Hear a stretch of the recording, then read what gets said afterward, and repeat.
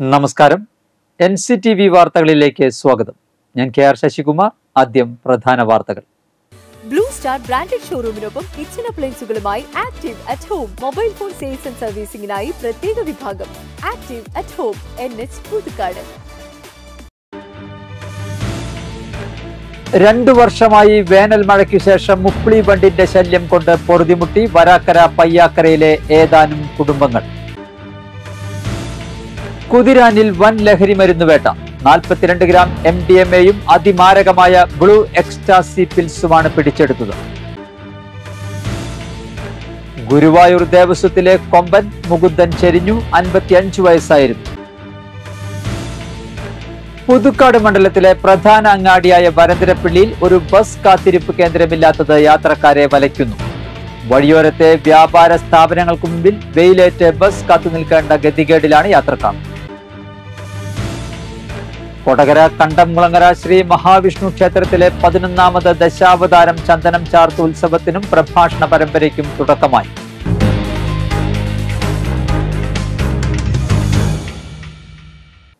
വാർത്തകൾ വിശദമായി. രണ്ടു വർഷമായി വേനൽ മഴയ്ക്കു ശേഷം മുപ്പിളി വണ്ടിന്റെ ശല്യം കൊണ്ട് പൊറുതിമുട്ടിയിരിക്കുകയാണ് വരാക്കര പയ്യാക്കരയിലെ ഏതാനും കുടുംബങ്ങൾ. ഓടിട്ട വീടുകളിലാണ് മുപ്പിളി വണ്ട് ശല്യം രൂക്ഷമായിരിക്കുന്നത്. നവംബർ മുതൽ മെയ് വരെയുള്ള മാസങ്ങളിലാണ് മുപ്പിളി വണ്ടിന്റെ ശല്യം രൂക്ഷമാകുന്നതെന്നും ഒരു ദിവസം തന്നെ പത്ത് തവണയെങ്കിലും വീട് ശുചീകരിക്കേണ്ട സ്ഥിതിയാണെന്നും വീട്ടുകാരി മാടശ്ശേരി ചേരാനല്ലൂക്കാരൻ റോസിലി പറഞ്ഞു. ഓടുമേഞ്ഞ പുരയായതുകൊണ്ട് തന്നെ ചുറ്റുപാടുള്ള മറ്റു വീടുകളെ അപേക്ഷിച്ച് റോസിലിയുടെ വീട്ടിലാണ് ഏറ്റവും കൂടുതൽ ബുദ്ധിമുട്ട് നേരിടുന്നത്. ഈ സമയങ്ങളിൽ ഭക്ഷണം പാകം ചെയ്യാനോ ഉറങ്ങാനോ സാധിക്കാത്ത അവസ്ഥയിലാണ്. ഇതിനെതിരെ മരുന്ന് തളിച്ചെങ്കിലും മരുന്നിന്റെ തീവ്രത കുറയുന്നതോടെ വീണ്ടും പഴയ പടി നിറയുന്ന അവസ്ഥയാണ്. തുടർച്ചയായി മരുന്ന് അടിക്കുന്ന മുറയ്ക്ക് മൂന്ന് നാല് ദിവസത്തേക്ക് വണ്ടിന്റെ ശല്യം ഇല്ലാതാകുമെങ്കിലും മഴയ്ക്ക് ശേഷമുള്ള വെയിലിൽ മുപ്പിളി വണ്ട് വീണ്ടും നിറയുന്ന സ്ഥിതിയാണ്. പ്രാണി വീഴുന്നത് മൂലം ആളുകൾക്ക് അലർജി തുമ്മൽ ശ്വാസം മുട്ട് ചൊറിച്ചിൽ എന്നിവ അനുഭവപ്പെടുന്നുണ്ട്. ഈ സാഹചര്യങ്ങളിൽ റോസിലിയും സഹോദരനും അയൽപ്പക്കത്തുള്ള ബന്ധു വീട്ടിലാണ് അഭയം തേടുന്നത്. മുപ്പിളി വണ്ട് ശല്യത്തിൽ ശാസ്ത്രീയമായി രക്ഷ നേടാൻ അധികൃതർ കനിയണമെന്നാണ് വീട്ടുകാരുടെ ആവശ്യം. രണ്ടു കൊല്ലമായി ഇതിന് അടിമയായിട്ട്. ഇടയ്ക്ക് ഇടയ്ക്ക് പത്ത് ദിവസം പത്ത് ദിവസം ഇവിടുന്ന് സ്ഥലം മാറി താമസിക്കുകയാണ് തീരെ തോൽക്കുമ്പോ ഇവന് ബുദ്ധിയില്ലാത്ത കാരണം ഇവനെ കൊണ്ടുപോകും അപ്പോൾ ഇതിന്റെ ശല്യം രണ്ടു കൊല്ലമായിട്ട് ഇടയ്ക്ക് ഇടയ്ക്ക് ഇങ്ങനെ വന്നുകൊണ്ടിരിക്കുന്നുണ്ട്. അത് പത്ത് ദിവസം പത്ത് ദിവസം. ഈ കറുത്ത വണ്ട് അതായത് മുപ്പുളി വണ്ട് എന്ന് പറയും എരുമമൂട്ട എന്ന് പറയും ഞങ്ങൾ. അതുപോലെയുള്ള ഈ വണ്ടിന്റെ ശല്യം ഭയങ്കരമായിട്ട് രണ്ട് കൊല്ലത്തിനുള്ളിൽ കണ്ടമാനം ശല്യമായി. പെരുകി പെറ്റ് പെരുകി വീട്ടിൽ സ്റ്റോക്കാണ് അത് മാസത്തിൽ പത്ത് ദിവസം വെച്ച് വീട് മാറിപ്പോവും. മഴ പെയ്ത് പിന്നീട് വെയിലുദിക്കുമ്പോൾ കണ്ടമാനം ഇളകും. വീട്ടിൽ താമസിക്കാനും ഭക്ഷണം വെച്ച് പാകം ചെയ്ത് കഴിക്കാനും ഒന്നിനും പറ്റാത്ത അവസ്ഥയാണ്. അതുകൊണ്ട് ഈ വീട്ടിൽ താമസിക്കാൻ പറ്റാണ്ടായി. അതിന് എന്തെങ്കിലും ഒരു പരിഹാരം ആരെങ്കിലും ചെയ്താൽ വളരെ ഉപകാരം. മരുന്ന് അടിച്ച് എല്ലാം നമ്മൾ ക്ലീൻ ചെയ്ത് സർവതും വെടുപ്പാക്കി കുറച്ച് ദിവസം കഴിഞ്ഞാൽ മരുന്നിന്റെ മണം പോയി കഴിഞ്ഞാൽ വീണ്ടും മഴയും വെയിലും വരുമ്പോൾ വീണ്ടും വരും. ഇങ്ങനെ വന്ന് വന്ന് വന്ന് പത്ത് ദിവസം പത്ത് ദിവസം കൂടുമ്പോൾ മാറി താമസിക്കുക. വീണ്ടും ഇത് വരിക ഇങ്ങനെ വെടുപ്പാക്കുക. ഇപ്പൊ മൂന്ന് നാല് ട്രിപ്പായി എട്ട് മാസത്തിനുള്ളിൽ മരുന്നടിക്കലും വെടുപ്പാക്കലും. ഇപ്പോഴും തിരിച്ചു വീണ്ടും വന്നു. ഇനിയും വെടുപ്പാക്കാൻ പറ്റാത്ത അവസ്ഥയായി. ഞങ്ങൾ ഈ എയർ ഹോളൊക്കെ അടച്ചിട്ടുണ്ട്. പക്ഷെ എന്നാലും അതിന്റെ സൈഡിൽ കൂടെ ആയാലും മഴ പെയ്തിടുന്ന സൗണ്ടോട് കൂടിയിട്ട് ഒരു ആരവത്തോട് കൂടിയിട്ട് അത് വരുന്നത്. രണ്ട് മൂന്ന് വർഷമായി ഈ പരിസരത്ത്. ഒരുവിധം വീടുകളിലുണ്ട്. ഓടുമേഞ്ഞ വീടുകളിൽ തീർത്തുണ്ട്. എത്ര വെടുപ്പാക്കിയാലും മരുന്നടിച്ചാലും വൃത്തിയാവണില്ല. കുറച്ച് ദിവസത്തേക്ക് ഒന്ന് മാറി നിൽക്കുന്നല്ലാതെ പിന്നെ വീണ്ടും വന്നുകൊണ്ടിരിക്കും. ഇപ്പൊ എന്റെ വി- തൊട്ട് തന്നെ ഈ വീട്ടിലുകാർ ഇപ്പോൾ ഇപ്പൊ ഇവിടെ മൂന്ന് നാല് വട്ടമായി വെടുപ്പാക്കലും ക്ലീനിങ്ങും. പക്ഷെ ഒരു നിവൃത്തിയില്ല ലൈറ്റ് ഇടാൻ പറ്റില്ല. സന്ധ്യ ആയി കഴിഞ്ഞാൽ ഭക്ഷണം വെക്കാനോ മക്കൾക്ക് കൊടുക്കാനോ ഒന്നിനും സാധിക്കാത്തൊരവസ്ഥയാണ് ഇത് എങ്ങനെയെങ്കിലും ഒന്ന് നശിപ്പിച്ചു തരാനായിട്ട് അധികാരികളുടെ ശ്രദ്ധയിൽ പെടുത്തണം എന്നാണ് എനിക്ക് പ്രത്യേകമായിട്ട് പറയാനുള്ളത്. കുതിരാനിൽ വൻ ലഹരി മരുന്ന് വേട്ട. നാൽപ്പത്തിരണ്ട് ഗ്രാം എം ഡി എം എയും അതിമാരകമായ ബ്ലൂ എക്സ്റ്റാസി പിൽസും പിടികൂടി. പൂത്തോൾ സ്വദേശിയായ വിഷ്ണുവിൽ നിന്നാണ് തൃശൂർ സിറ്റി ലഹരി വിരുദ്ധ സ്ക്വാഡും പീച്ചി പോലീസും ചേർന്ന് ലഹരി വസ്തുക്കൾ പിടികൂടിയത്. വിഷ്ണുവിനെ അറസ്റ്റ് ചെയ്തു. ഗുരുവായൂർ ദേവസ്വത്തിലെ കൊമ്പൻ മുകുന്ദൻ ചെരിഞ്ഞു അൻപത്തിയഞ്ച് വയസ്സായിരുന്നു. രാവിലെ ഒൻപത് നാൽപ്പതിന് തെക്കേപ്പറമ്പിലെ കെട്ടും തറിയിലായിരുന്നു അന്ത്യം. ദീർഘനാളായി ചികിത്സയിലായിരുന്നു കോഴിക്കോട് സാമൂതിരി രാജ ആയിരത്തി തൊള്ളായിരത്തി എൺപത്തി ആറ് സെപ്റ്റംബർ എട്ടിനാണ് മുകുന്ദനെ ഗുരുവായൂർ ക്ഷേത്രത്തിൽ നടയിരുത്തുന്നത്. രണ്ടായിരത്തി ആറ് മുതൽ ഇടത്തെ പിൻകാൽ മടങ്ങാത്ത അവസ്ഥയിലായിരുന്നു. ഇതേ തുടർന്ന് മുകുന്ദനെ ആനത്താവളത്തിന് പുറത്തേക്ക് കൊണ്ടുപോകാറില്ല.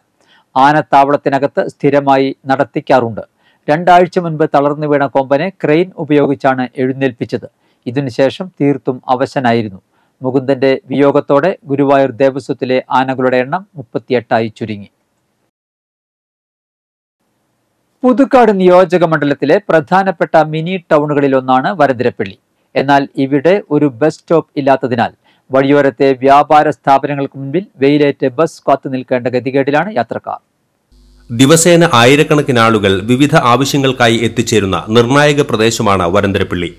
Panchayat office village office വിവിധ ബാങ്കുകൾ തുണിത്തരങ്ങൾ ഇലക്ട്രോണിക് ഉൽപ്പന്നങ്ങൾ ഹാർഡ്വെയർ തുടങ്ങി നിരവധി വ്യാപാര സ്ഥാപനങ്ങളിലേക്കുമായി ഓരോ ദിവസവും ഇവിടെ വന്നു പോകുന്നത് നിരവധി പേരാണ്. സമീപ പ്രദേശങ്ങളായ നന്ദിപുലം വട്ടക്കൊട്ടായി കരയാമ്പാടം എച്ചിപ്പാറ ആനപ്പാന്തം ചൊക്കന തുടങ്ങി നിരവധി പ്രദേശങ്ങളിൽ ഉള്ളവർ അവരുടെ വിവിധ ആവശ്യങ്ങൾക്കായി എത്തിച്ചേരുന്നത് വരന്തരപ്പള്ളിയിലാണ്. എന്നാൽ പാലപ്പള്ളി ഭാഗത്തേക്കും ആമ്പലൂർ ദിശയിലേക്കും ബസ് കാത്തിരിക്കാൻ ബസ് സ്റ്റോപ്പില്ല എന്നത് യാത്രക്കാരെ വലയ്ക്കുകയാണ്. വരന്തരപ്പള്ളി സെന്ററിലാണ് നമ്മളിപ്പോൾ ഉള്ളത്. ഞങ്ങൾ ഇവിടെ എത്തി നോക്കിയപ്പോൾ ഇവിടെ ഈ പരിസരത്തൊന്നും ഒരു ബസ് സ്റ്റോപ്പ് കാണുന്നില്ല. പാലപ്പള്ളി ഭാഗത്തേക്കുള്ള ബസ് സ്റ്റോപ്പും ഇല്ല തൃശൂർ ഭാഗത്തേക്കുള്ള ബസ് സ്റ്റോപ്പും ഇല്ല. എന്തുകൊണ്ടാണ് ഇവിടെ ഒരു ബസ് സ്റ്റോപ്പ് ഇല്ലാതെ ആയത് ഇത്രയും വലിയ ഒരു സിറ്റി ആയിട്ട് പോലും എന്തുകൊണ്ടാണ് വരന്തരപ്പള്ളിയിൽ ഒരു ബസ് സ്റ്റോപ്പ് ഇല്ലാത്തത് എന്ന കാര്യമാണ് ഇന്ന് നമ്മൾ അന്വേഷിക്കുന്നത്. ഇരുപത്തിരണ്ട് വാർഡ് അടങ്ങുന്ന പഞ്ചായത്താണ് വരന്തപ്പള്ളി പഞ്ചായത്ത്.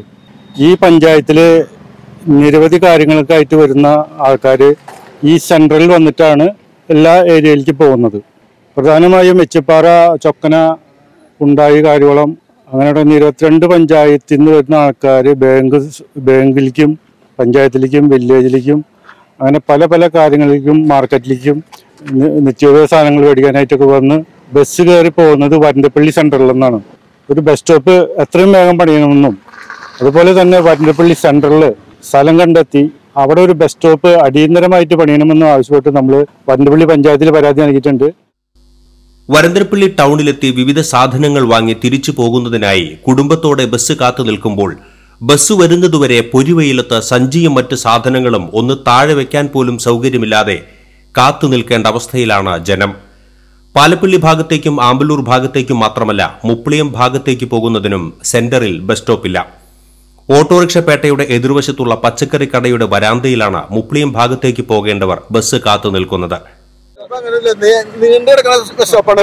അങ്ങനെ പ്രത്യേക സ്ഥലം ഇതുവരെ മരുന്നപ്പള്ളിയില്ല കലിക അവിടുന്ന് രചന ബാറ് മുതൽ മുഖത്ത് ഗോവിന്ദ പള്ളി വരെ ബസ് സ്റ്റോപ്പാ എവിടെ നിർത്തി വേണം കയറാൻ ആൾക്കാർ ഇവിടെയും ഭാഗത്താണെങ്കിലും ഇവിടെ പച്ചക്കറി കടയിലെ ഓരത്താണ് ആൾക്കാർ നിൽക്കുന്നത് അങ്ങോട്ട് പഞ്ചായത്ത് ഓഫീസ് അവിടെ വരെ നടക്കണം ആൾക്കാർ ഓക്കെ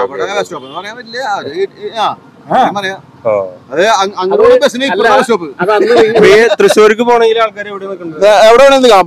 ബാറ് മുതൽ പള്ളി വരെ എവിടെ വേണേലും നിൽക്കാം. എവിടെ കൈ കാണിച്ചാലും ബസ് നിർത്തും അല്ലാണ്ട് അത് രക്ഷയില്ലാതെ മര സ്റ്റോപ്പുള്ള ഇരിക്കാനോ നിൽക്കാനോ തളർത്തിക്കാനോ ഇല്ല ഉണ്ടാവുന്നേ വിളിച്ചു കളഞ്ഞു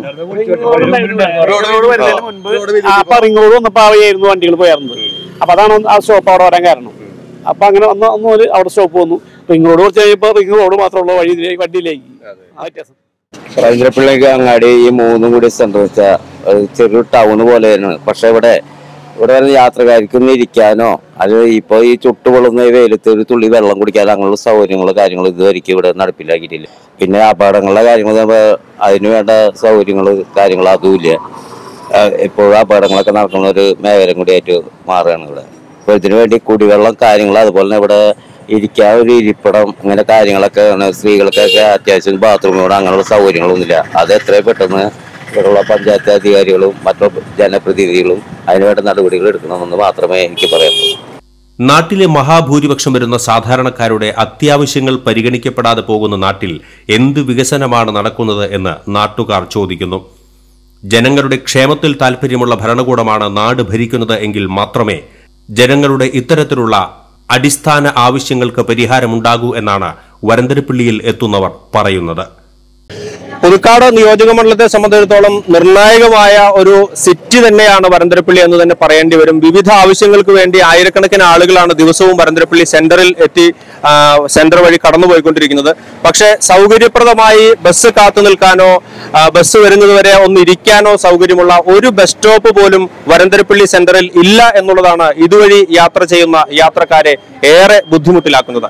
cameraman നന്ദുവിനൊപ്പം Baiju Devasy N news plus two പരീക്ഷയിൽ ആയിരത്തി ഇരുന്നൂറിൽ ആയിരത്തി ഇരുന്നൂറ് മാർക്കും നേടി നാടിന്റെ അഭിമാനമായി മാറിയ പറപ്പൂക്കര കരവട്ട് നന്ദനൻ പ്രസന്നകുമാരി ദമ്പതികളുടെ മകനായ നിവേദിനെ Puthukkad M L A K K Ramachandran വീട്ടിലെത്തി അഭിനന്ദിച്ചു. നന്ദിക്കര സർക്കാർ ഹയർ സെക്കൻഡറി സ്കൂളിലെ ബയോളജി സയൻസ് വിഭാഗം വിദ്യാർത്ഥിയായിരുന്നു നിവേദ്.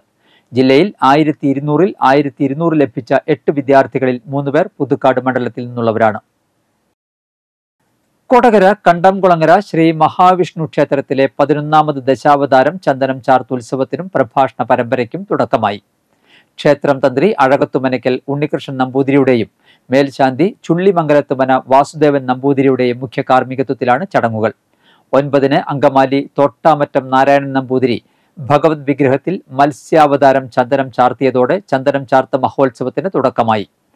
ഒൻപതിന് വൈകിട്ട് ദീപാരാധനയ്ക്ക് ശേഷം ശ്രീ പാർത്ഥസാരഥി ഭജന മണ്ഡപത്തിൽ വെച്ച് നടന്ന ചടങ്ങിൽ അഖില ഭാരതീയ സന്ത് സമിതി ദേശീയ സെക്രട്ടറി സ്വാമി പ്രഭാകരാനന്ദ സരസ്വതി പ്രഭാഷണ പരമ്പരയുടെ ഔപചാരികമായ ഉദ്ഘാടനം നിർവഹിച്ചു. ക്ഷേത്ര സങ്കല്പം എന്ന വിഷയത്തിൽ പ്രഭാഷണം നടത്തി. അവന്തിക രവി പ്രാർത്ഥനാ ഗീതം ആലപിച്ചു. ക്ഷേത്രം പ്രസിഡന്റ് സത്യൻ കുറുവത്ത് അധ്യക്ഷത വഹിച്ചു. യോഗത്തിന് സെക്രട്ടറി രഘു പി മേനോൻ സ്വാഗതവും. ജോയിന്റ് സെക്രട്ടറി സജി പെരുമ്പിള്ളി നന്ദിയും പറഞ്ഞു. ദശാവതാരം ചന്ദനം ചാർത്ത് കൺവീനർ ശശിധരൻ തൃക്കാശ്ശേരി സന്നിഹിതനായിരുന്നു. തുടർന്ന് മെയ് പത്തിന് പേരാമംഗലം ശ്രീ ദുർഗാവിലാസം സ്കൂൾ അധ്യാപകൻ കിള്ളിക്കുരിശിമംഗലം സുരേഷ് ബാബു പതിനൊന്നിന് ഭാരതീയ വിചാര കേന്ദ്രം സംസ്ഥാന സമിതി അംഗം സുനിൽ മടവാക്കര പന്ത്രണ്ടിന് senior central government standing council O M Shaleena പതിനാലിന് ഹിന്ദു ഐക്യവേദി സംസ്ഥാന അധ്യക്ഷ കെ പി ശശികല ടീച്ചർ പതിനാറിന് കോട്ടയം ഏറ്റുമാനൂരപ്പൻ കോളേജിലെ സരിത അയ്യർ എന്നിവരുടെ പ്രഭാഷണവും പതിമൂന്നിന് രാധേയം നൃത്ത വിദ്യാലയവും പതിനഞ്ചിന് കേളി നടനം നൃത്ത വിദ്യാലയം എന്നിവർ അവതരിപ്പിക്കുന്ന കലാപരിപാടികളും പതിനേഴിന് കലാമണ്ഡലം ശ്രീജ വിശ്വം അവതരിപ്പിക്കുന്ന ഓട്ടൻതുള്ളൽ പതിനെട്ടിന് ശ്രീ വടക്കുംനാഥൻ ഭജന സംഘം അവതരിപ്പിക്കുന്ന ഭജനസന്ധ്യ പത്തൊൻപതിന് കളിയരങ്ങ് ഇരിഞ്ഞാലക്കുട അവതരിപ്പിക്കുന്ന കഥകളി എന്നീ പരിപാടികളും ഉണ്ടായിരിക്കും. അന്താരാഷ്ട്ര യോഗാസന ചാമ്പ്യൻഷിപ്പിൽ സ്വർണ മെഡൽ നേടി തിരിച്ചെത്തിയ ഇന്ത്യൻ ടീം അംഗങ്ങൾക്ക് തൃശൂർ റെയിൽവേ സ്റ്റേഷനിൽ സ്വീകരണം നൽകി. മെയ് ഏഴിന് നേപ്പാളിലെ പൊക്രായിൽ നടന്ന അന്താരാഷ്ട്ര യോഗാസന മത്സരത്തിൽ ഇന്ത്യയെ പ്രതിനിധീകരിച്ച് പങ്കെടുത്ത് പത്തൊൻപത് സ്വർണവും രണ്ട് വെള്ളി മെഡലും കരസ്ഥമാക്കി തിരിച്ചുവരുന്ന ഇന്ത്യൻ ടീം അംഗങ്ങളായ നന്ദിക്കര ശ്രീരാമകൃഷ്ണ വിദ്യാനികേതൻ പബ്ലിക് സ്കൂളിലെ ഇരുപത്തിയൊന്ന് വിദ്യാർത്ഥികൾക്കും കോച്ചിനുമാണ് തൃശൂർ റെയിൽവേ സ്റ്റേഷനിൽ സ്വീകരണം നൽകിയത്. ഉജ്ജ്വല വിജയം കരസ്ഥമാക്കിയ ഇവർ അടുത്ത ഏഷ്യൻ ഗെയിംസിൽ പങ്കെടുക്കാൻ അർഹത നേടി. സ്വീകരണത്തിന് വിദ്യാലയ സമിതി president T C Thilakan secretary Vijayan Meprath principal K R Vijayalakshmi K M Siddharthan K Raveendran സമിതി അംഗങ്ങൾ അധ്യാപകർ രക്ഷിതാക്കൾ എന്നിവർ നേതൃത്വം നൽകി. വടക്കോട്ട് ദർശനമുള്ള അപൂർവ ഭദ്രകാളി ക്ഷേത്രങ്ങളിലൊന്നായ കൊടകര അഴകം മഠത്തിൽ പഴംപിള്ളി ശ്രീ ഭദ്രകാളി ക്ഷേത്രത്തിലെ താലപ്പൊലി മഹോത്സവവും കളമെഴുത്തുപാട്ടും ആഘോഷിച്ചു. ഭദ്രകാളി മുത്തപ്പൻ മലനായാടി നമ്പൂരിച്ചൻ ഘണ്ടാകർണൻ എന്നിവർക്ക് കളമെഴുത്തുപാട്ട് നടന്നു. ഭദ്രകാളി സഹസ്രനാമാർച്ചന സർപ്പപൂജ നവകം പഞ്ചഗവ്യം തോറ്റമ്പാട്ട് തായമ്പക മേളം എഴുന്നള്ളിപ്പ് മഹാഗുരുതി എന്നിവയുമുണ്ടായി. ക്ഷേത്രം തന്ത്രി ഐ സി അശ്വിനിദേവ് ചടങ്ങുകൾക്ക് മുഖ്യ കാർമ്മികത്വം വഹിച്ചു. കളമെഴുത്തുപാട്ടിനും മേളത്തിനും പുല്ലൂർ സജു ചന്ദ്രനും സംഘവും നേതൃത്വം നൽകി. അളകപ്പ ടെക്സ്റ്റൈൽസ് മിൽസ് എത്രയും വേഗം തുറന്ന് പ്രവർത്തിപ്പിക്കാൻ നടപടിയുണ്ടാകണമെന്ന് അളകപ്പ ടെക്സ്റ്റൈൽസ് എംപ്ലോയീസ് യൂണിയൻ നാൽപ്പത്തിയഞ്ചാം വാർഷിക ജനറൽ ബോഡി യോഗം അധികൃതരോട് ആവശ്യപ്പെട്ടു. C P M Kodakara area committee secretary P K Sivaraman ഉദ്ഘാടനം ചെയ്തു. Union president P K Asokan അധ്യക്ഷത വഹിച്ചു. P C Gopalan Anto Illikkal Kerala textiles federation സംസ്ഥാന general secretary M R Rajan C I T U Kodakara area president A V Chandran C P I M Alagappanagar west local secretary Sojan Joseph എന്നിവർ പ്രസംഗിച്ചു. Union ഭാരവാഹികളായി P K അശോകനെ പ്രസിഡന്റായും general സെക്രട്ടറിയായി ആന്റു ഇല്ലിക്കലിനെയും ട്രഷററായി T P Benny working പ്രസിഡന്റായി P C Gopalan joint സെക്രട്ടറിമാരായി ജോബി അജയകുമാർ സി ആർ മുരളി എന്നിവരെയും വൈസ് പ്രസിഡന്റായി സിജോ ആന്റണിയെയും തെരഞ്ഞെടുത്തു. മാളയിൽ ബസ്സും ഓട്ടോറിക്ഷയും കൂട്ടിയിടിച്ച് ഓട്ടോ ഡ്രൈവർ മരിച്ചു. നാലു പേർക്ക് പരിക്കേറ്റു. മാള പരനാട്ടുകുന്ന് സ്വദേശി എഴുപത് വയസ്സുള്ള മുഹമ്മദ് അസ്ഖാർ ആണ് മരിച്ചത്. മാള അന്നമനട റോഡിൽ രാത്രി ഏഴരയോടെയായിരുന്നു അപകടം. മാള ഭാഗത്തേക്ക് വരികയായിരുന്ന സ്വകാര്യ ബസ്സും ആലുവ റെയിൽവേ സ്റ്റേഷനിലേക്ക് പോകുകയായിരുന്ന ഓട്ടോയും കൂട്ടിയിടിക്കുകയായിരുന്നു. അപകടത്തെ തുടർന്ന് നിയന്ത്രണം വിട്ട ബസ് ഇലക്ട്രിക് പോസ്റ്റും ഇടിച്ചു തകർത്തു. പരിക്കേറ്റ ഓട്ടോറിക്ഷ യാത്രക്കാരായ മറ്റു നാല് പേരെ ആശുപത്രിയിൽ പ്രവേശിപ്പിച്ചു. നൂറ് പേർ രക്തം ദാനം ചെയ്ത് ഗബ്രിയേൽ അച്ഛന്റെ ചരമവാർഷികം ആഘോഷിച്ചു. അമല ആശുപത്രിയുടെ സ്ഥാപകനായ Gabriel Chiramel C M I അച്ഛന്റെ ഏഴാം ചരമവാർഷിക ദിനത്തിൽ അമല ആശുപത്രിയിൽ ഡോക്ടേഴ്സും വിദ്യാർത്ഥികളും അമലനഗർ സെന്റ് ജോസഫ് ഇടവകയിലെ അംഗങ്ങളും ചേർന്ന് നൂറ് പേർ രക്തം ദാനം ചെയ്തു. അമല ചാപ്പലിൽ വെച്ച് നടന്ന പൊതുമീറ്റിംഗിൽ Amala medical college director father Julius Arakkal C അധ്യക്ഷത വഹിച്ചു. സി സഭയുടെ മുൻ പ്രിയോർ ജനറലും തൃശൂർ ദേവമാത പ്രൊവിൻഷ്യലും അമലയുടെ മുൻ ഡയറക്ടറും. ബാംഗ്ലൂർ ക്രൈസ്റ്റ് യൂണിവേഴ്സിറ്റി മുൻ ചാൻസലറുമായ father doctor Paul Achandy C M I മുഖ്യ അതിഥിയായിരുന്നു. Joint director father Jaison Mundanmani C M I Amala medical college principal Betsy Thomas Amala blood centre മേധാവി doctor Vinu Vipin chief nursing officer sister Likhitha M S J Gabriel അച്ഛന്റെ കുടുംബാംഗം Michael C Jacob Gabriel അച്ഛന്റെ ശിഷ്യൻ R K Ravi saint Joseph Amala Nagar ഇടവക കൈക്കാരൻ Wilson Neelankavil deputy nursing superintendent sister Siji Pius എന്നിവർ പ്രസംഗിച്ചു. തുടർച്ചയായി രക്തദാനം നടത്തിയ Robin Jino എന്നീ നഴ്സുമാരെ മീറ്റിംഗിൽ ആദരിച്ചു. നഴ്സസ് ദിനാചരണത്തിന്റെ ഭാഗമായി അമല ആശുപത്രിയിൽ നഴ്സുമാർ രക്തം നൽകി രക്തദാന ക്യാമ്പിന് നേതൃത്വം നൽകി.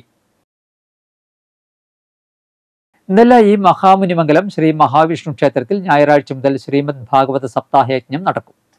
രാവിലെ എട്ട് മുപ്പതിന് കലവറ നിറയ്ക്കൽ വൈകിട്ട് ആറിന് ആചാര്യവരണം ദീപാരാധനയ്ക്ക് ശേഷം ഭഗവത് മഹാത്മ്യ പ്രഭാഷണം എന്നിവയുണ്ടാകും. മറവാഞ്ചേരി ശ്രീ മഹാദേവ ക്ഷേത്രം പ്രതിഷ്ഠാദിന മഹോത്സവം നടന്നു. ഗണപതി ഹോമം പഞ്ചഗവ്യം ഉച്ചപൂജ എന്നിവ പ്രതിഷ്ഠാദിനത്തിന്റെ ഭാഗമായി നടന്നു. ഉച്ചയ്ക്ക് അന്നദാനവും ഉണ്ടായിരുന്നു. ഉത്സവം ഞായറാഴ്ച നടക്കും. പകൽപൂരം പഞ്ചഗവ്യം ഉച്ചപൂജ ഉച്ചശീവേലി എന്നിവ ഉത്സവത്തിന്റെ ഭാഗമായി നടക്കും. കൂടാതെ രാത്രി ഒൻപത് മുതൽ ആനന്ദപുരം ഉദ്ദിമാനം അവതരിപ്പിക്കുന്ന തെയ്യവും തീയാട്ടവും നടക്കും.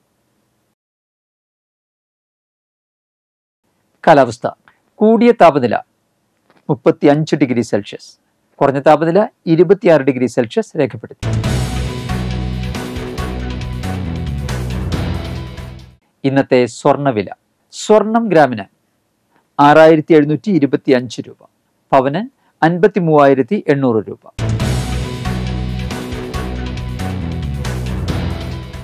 കൊടകര പാലക്കൽ അയ്യപ്പൻ നായർ അന്തരിച്ചു. എൺപത്തിയാറ് വയസ്സായിരുന്നു. സംസ്കാരം നടന്നു. ഷർമിള ജ്യോതിലക്ഷ്മി പരേതയായ ജയ എന്നിവർ മക്കളും. മുരളി ഗോപാലകൃഷ്ണൻ പരേതനായ സുധേഷ് എന്നിവർ മരുമക്കളുമാണ്. പുതുക്കാട് തെക്കേത്തുറവ് താഴത്ത് അന്തോണി ഔസേബ് അന്തരിച്ചു. തൊണ്ണൂറ് വയസ്സായിരുന്നു. സംസ്കാരം നടത്തി. പ്രധാന വാർത്തകൾ ഒരിക്കൽ കൂടി. ബ്ലൂ സ്റ്റാർ ബ്രാൻഡഡ് ഷോറൂമിനൊപ്പം kitchen അപ്ലയൻസുകളുമായി active at home mobile phone sales and സർവീസിംഗിനായി പ്രത്യേക വിഭാഗം active at home N H Puthukkad. രണ്ടു വർഷമായി വേനൽ മഴയ്ക്കു ശേഷം മുപ്പിളി ബണ്ടിന്റെ ശല്യം കൊണ്ട് പൊറുതിമുട്ടി വരാക്കര പയ്യാക്കരയിലെ ഏതാനും കുടുംബങ്ങൾ. കുതിരാനിൽ വൻ ലഹരി മരുന്ന് വേട്ട. നാൽപ്പത്തിരണ്ട് ഗ്രാം എം ഡി എം എയും അതിമാരകമായ ബ്ലൂ എക്സ്റ്റാസി പിൽസുമാണ് പിടിച്ചെടുത്തത്. ഗുരുവായൂർ ദേവസ്വത്തിലെ കൊമ്പൻ മുകുന്ദൻ ചെരിഞ്ഞു അൻപത്തിയഞ്ചു വയസ്സായിരുന്നു. പുതുക്കാട് മണ്ഡലത്തിലെ പ്രധാന അങ്ങാടിയായ വരന്തരപ്പള്ളിയിൽ ഒരു ബസ് കാത്തിരിപ്പ് കേന്ദ്രമില്ലാത്തത് യാത്രക്കാരെ വലയ്ക്കുന്നു.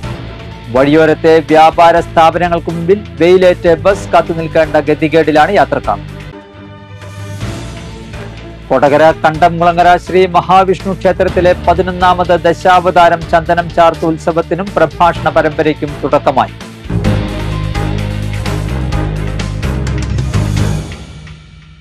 ബുള്ളറ്റിൻ പൂർണമാകുന്നു. പുതുക്കാട് മേഖലയിലെ പ്രധാന സംഭവങ്ങളുടെ വാർത്താക്ലിപ്പുകളും ഡെയിലി ന്യൂസും.